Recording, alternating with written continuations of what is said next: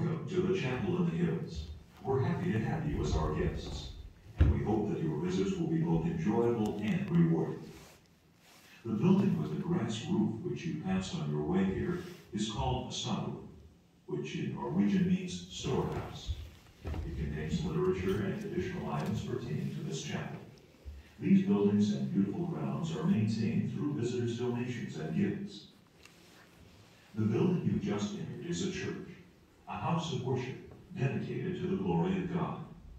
Called the Stave Church, in Norwegian Stavkirke, it's an exact replica of the famous 800-year-old Borgund Church, situated 100 miles northwest of Oslo, Norway. A few comments concerning the exterior of the chapel.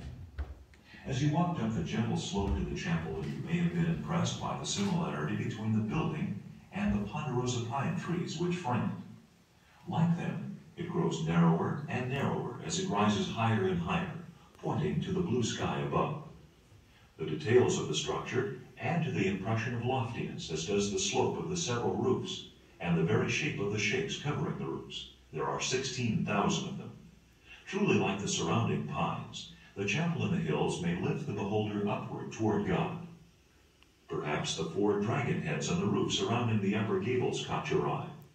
They are similar to the figureheads which the Vikings of old carved for their longboats. Their appearance on the stave church may be in part a relic of pagan days in Norway. I'll show But they may also be there simply because the craftsmen who built the original stave churches adapted them from their longboats.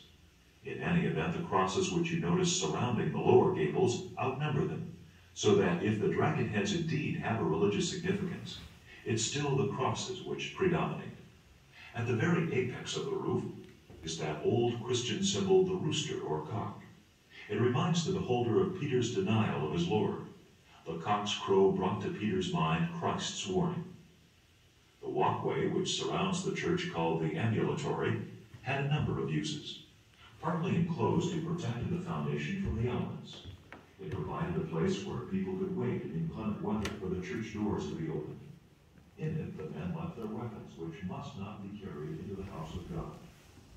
You will want to examine the intricate carving surrounding the main portal through which you entered. The elaborate intertwining of animals and serpents represents the struggle between good and evil, between the forces of dying paganism and the emerging power of the Christian gospel. And it is the latter which is victorious. As you look about you, numerous features remind you that this is in truth a Christian church, a place of worship and inspiration. As you face the front looking into the chancel, you see a simple stone altar, the center of Christian worship, which is adorned with a cross, a Bible, and candles. The lectern or pulpit reminds us that the reading and preaching of God's Word is a part of the Christian service. On one of the pillars to the right of the chancel steps is the baptismal font, where people are brought into the fellowship of Christ. Notice the small sliding door, about 18 inches square, to the right of the altar. When the door is pushed back, there is revealed an opening known as the leper's window. Through it, lepers could share in the worship services and receive Holy Communion. Denied admission to the church, they were not excluded from the sacrament of the Lord's Supper. As you stand at the center of the church facing the altar, you look upward and become aware of the three arches which separate the chancel from the nave of the church. They remind you of the Trinity, Father, Son, and Holy Spirit. The 14 X-shaped braces are carved to form beautiful crosses, the so-called crosses of St. Andrew. Tradition says that Andrew, one of Jesus' disciples, died for his faith with his arms and legs outstretched on a cross. The carved faces at the very tops of the twelve pillars or staves represent the twelve disciples of our Lord. The great staves at the four corners upon which the structure depends represent the four Gospels Matthew, Mark, Luke, and John. Many things about the chapel in the hills draw people to a sense of the nearness of God. Your visit here may have reminded you of the words of the psalmist. I was glad when they said to me, Let us go into the house of the Lord. Please feel free to examine the intricacies of this unique chapel and meditate upon their meaning. And as you go on your way, may God go with you. May he go before you to show you the way. May he go behind you to encourage you, beside you to befriend you, above you to watch over you, and within you to give you peace. In the name of the Father, and the Son, and the Holy Spirit. Amen.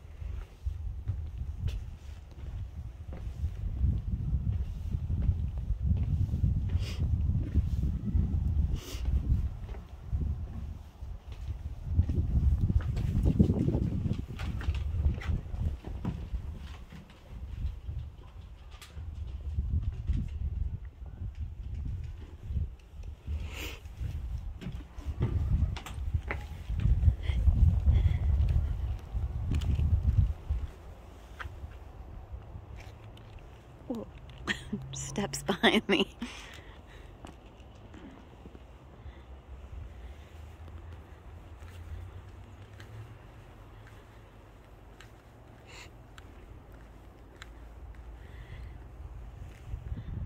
This is the Chapel on the Hills in Rapid City, South Dakota.